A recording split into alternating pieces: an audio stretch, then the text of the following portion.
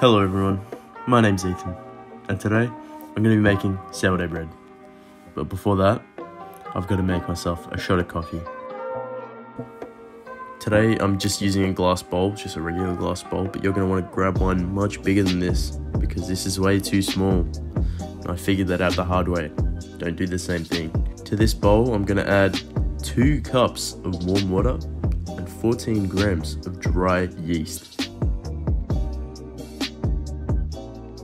Give that a little mix and then set it aside for about 2 minutes. After you've let that sit, you can go ahead and add 3.5 cups of plain flour and then I'm going to add 2 tablespoons of raw sugar.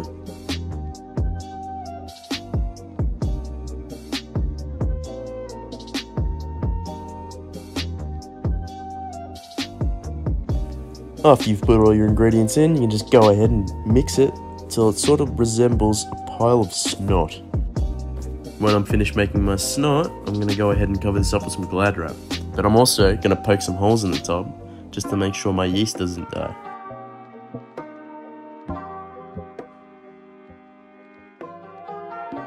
So now I'm just going to chuck a tea towel over it and then I'm going to stir it every 12 hours for the next 5 days.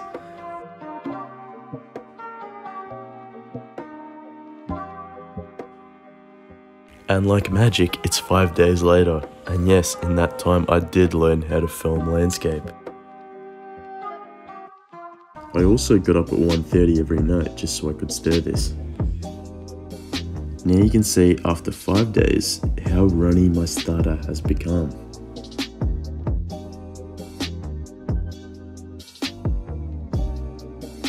And now we can start with our dough. I'm using 4 cups of plain flour 2 teaspoons of salt and 1 and a quarter cups of water.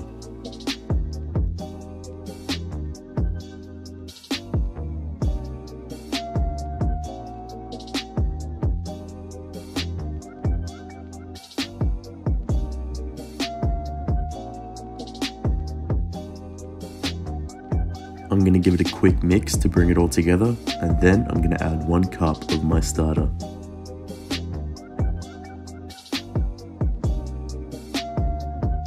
I'm going to leave my mixer on low and I'm going to knead it for about 10 minutes.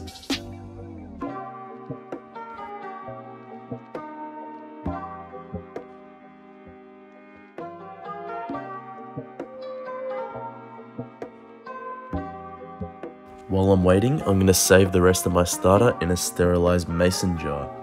This will last forever in the fridge as long as you feed it 1 teaspoon of sugar every week.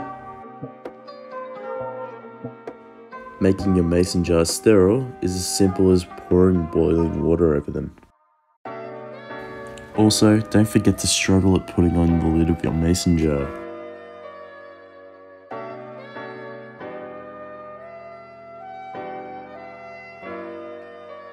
Then, after 10 long minutes, you can see our final dough. I'm going to let this rest for another 12 hours overnight.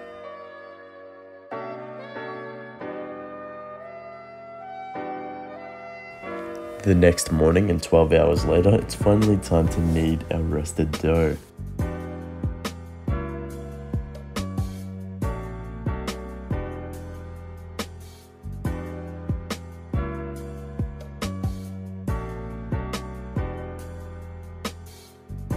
What I'm going to do now is called balling. This is shaping of the dough. Whatever you shape your dough to look like now is generally what it's going to look like when it comes out of the oven.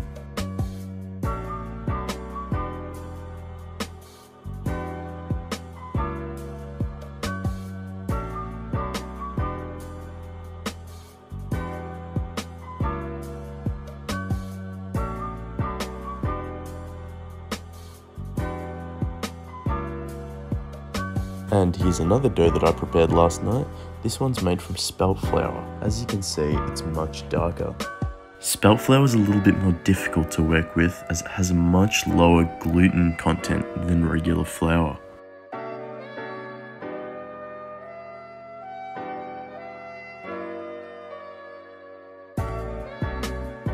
Now let your dough proof for another 4 hours and it's ready for the oven.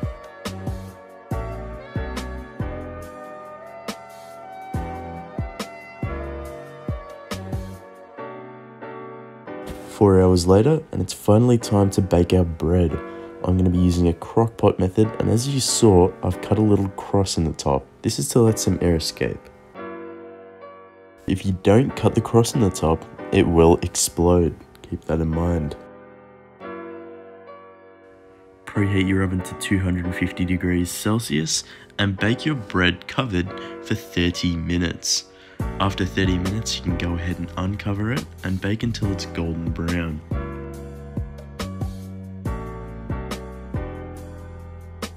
Forty-five minutes later, and you should have something that looks a little bit like this. Enough playing around, let's get to cutting this open.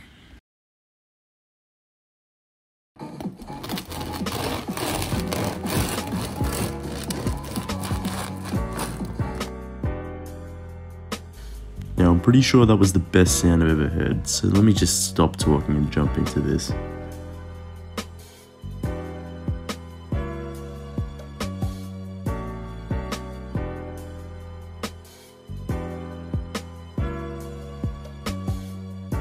Holy crap, this came out way better than I thought it would.